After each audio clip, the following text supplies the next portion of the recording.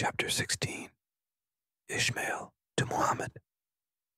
As I returned to the Arab nations of Ishmael, I could see that everything I'd whispered was being spoken out loud. Idols and false gods dwelled among the people who had been refined from any notion of the true God of Abraham. For Abraham's God had banished them, so why would they seek refuge in a God that didn't choose them?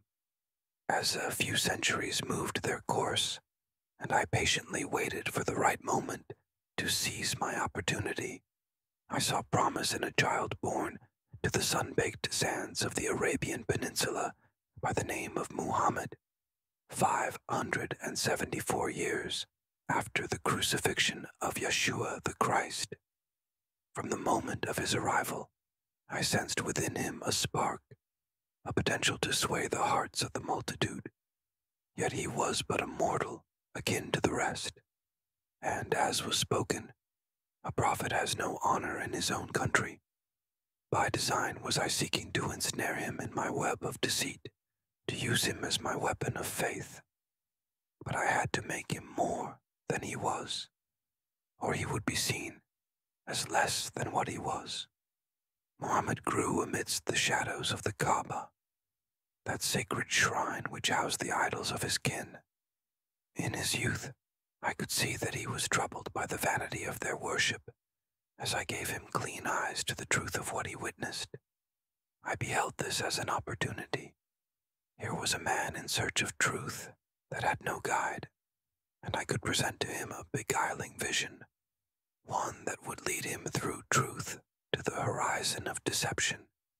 It was in the solitude of the Hira cave that my whispers grew more clear for I came to him falsifying an angel, brighter than I did, appear to Eve the second time I devoured her with the deceit. I fed him thoughts of a new revelation, a doctrine that would claim the oneness of God, yet in its depths it would distort the truth of Christ.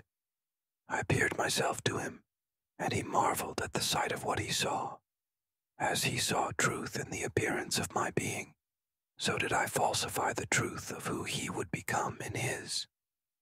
Thou art a prophet, I urged him. Lead thy people away from the corruption of idols and into the light of a singular truth, thy truth. As his fervor waxed, so too did my influence. I guided him to gather followers and gave him words of celestial unknowns to preach that would resonate with those adrift in the chaos of their lives. The path to salvation lieth not in the legacy of Isaac, but in the strength of Ishmael. I whispered, Unite the tribes, and thou shalt create a mighty movement. And he did, just as the visions I put before him instructed. As the years passed, the movement swelled, and I rejoiced in the discord that ensued. The followers of Mohammed, who were called to themselves the Muslims, began to conquer lands, spreading his doctrine far and wide. I chuckled as the schism between Christians and Muslims deepened, a rift I had nurtured with whispers of misunderstanding and mistrust. For in truth, they both had to agree with 99% certainty. But the 1% was enough to cause wars until the end of humanity. God has no son, and Yahshua was only a prophet. This lie is the one that I'm most proud, for even the words of the divinely inspired to warn the people fell short with their purpose. For wasn't it the beloved Paul that did say to the Corinthians, For if he that cometh preacheth another Yahshua, Messiah, whom we have not preached, or if ye receive another spirit which ye have not received, or another gospel which ye have not accepted, ye might well bear with him. And yet did I come to Mohammed in the form of a spirit, six hundred years after the Gospels were written and preached another Christ and another Gospel, and they marveled at the God that I created for them without recourse, as though they hadn't been warned that this day would come. For did Paul not say to the Galatians, I marvel that ye are so soon removed from him that called you into the grace of Christ unto another gospel, which is not another, but there be some that trouble you, and would pervert the gospel of Christ. But though we, or an angel from heaven, preach any other gospel unto you than that which we have preached unto you, let him be accursed.